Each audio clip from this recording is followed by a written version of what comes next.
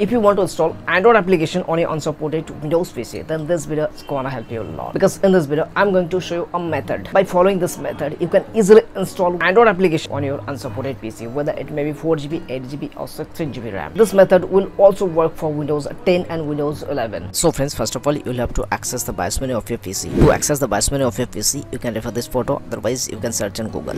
On BIOS menu, just enable the virtualization technology. Now after restarting your PC, just click on start menu and search for features. And there you will find turn windows feature on off. Just click here. Here enable virtual machine platform windows hypervisor platform and windows subsystem for linux. And then click on ok. Here you will have to wait a little bit. Now just by clicking here restart now you will have to restart your pc now just open a browser and you will have to access this website. The link will be given in the description. Here just scroll a little bit and click on just latest. Here you will find the latest version of this file. This for windows 11 latest version and on the same page you will find windows 11 windows 10 and all the needed information are given here. Here it is 4 to 6 gb is recommended and 8 gb minimum and 16 gb is recommended. 4 gb to 16 gb will be supported. Cpu architecture all the details are given here. You can find ssd is must. Okay installation guide updating guide all uninstall uninstallation guide all are given here. You can easily read the guide. If you want to download for windows 11 you can also download for windows 11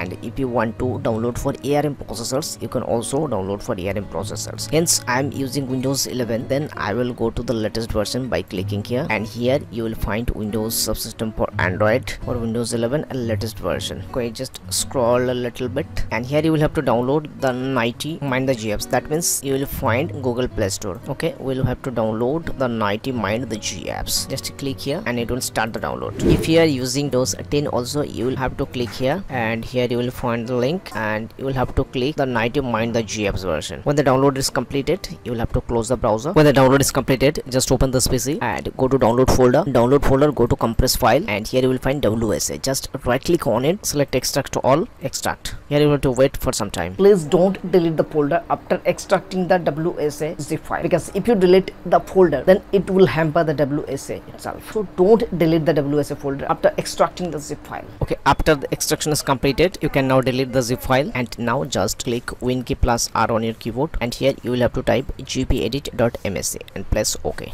Group policy will be open here. Double tap on administrative templates then just go to windows component and scroll a little bit. Here you will find windows PowerShell. Just double click just click here. And here you will find turn on script execution. Just right click on it and click on edit. Here you will have to click as enabled and from the drop down select allow all script. Just click ok and close it. Now, and now just open this folder. Again open this folder and here you will find a file named install. Just right click on it and select run with PowerShell here the installation process will be started. You will have to wait here. Just click on continue again just click on continue. Just to wait here. After completing all process your play store will be opened. Just you need to sign in. Well setup then click i agree and click on allow. Play store is opened. Now just close everything and click on start menu and search for windows subsystem for android. Just open it and go to advanced settings and enable the developer mode. Okay just close it and again search for play store. And here is the play store. You can now install everything. Now play store is installed on your pc if you find this video helpful then